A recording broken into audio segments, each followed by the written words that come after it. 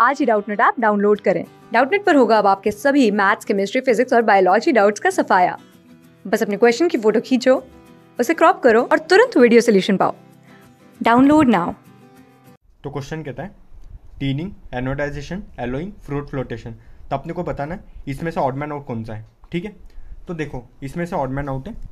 Froth flotation क्या है? Froth flotation क्यों?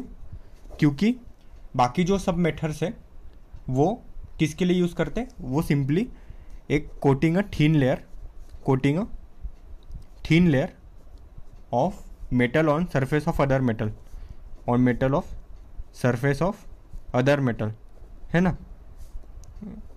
ये जो टीनिंग एनोडाइजेशन और एलोइंग जो प्रोसेस है, इनका काम क्या है? कि सिंपली एक मेटल है अगर मेरे पास, है ना? जैसे आयरन मेटल है तो उस पर एक दूसरे मेटल की कोटिंग चढ़ाने का काम है इसका, है ना? इन प्रोसेस से क्या करते दूसरे सिंपली मेटल्स को कोट करते हैं। क्या करते हैं? मेटल्स की कोटिंग करते हैं। मेटल्स की कोटिंग करते हैं ना?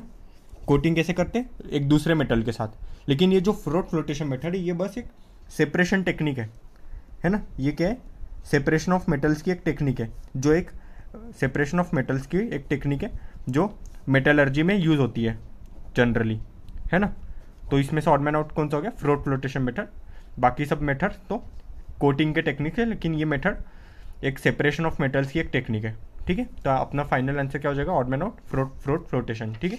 तो यही अपना फाइनल आंसर होगा, ठीक है? क्लास सिक्स से ट्वेल्थ से लेके NEET I I T JEE mains और एडवांस के लेवल तक। दस मिलियन से ज़्यादा स्टूडेंट्स का भरोसा। आज ही डाउनलोड करें डाउट नेट आप या व्हाट्सअप कीजिए अपने डाउट्स आठ चार सौ चार सौ चार सौ पर।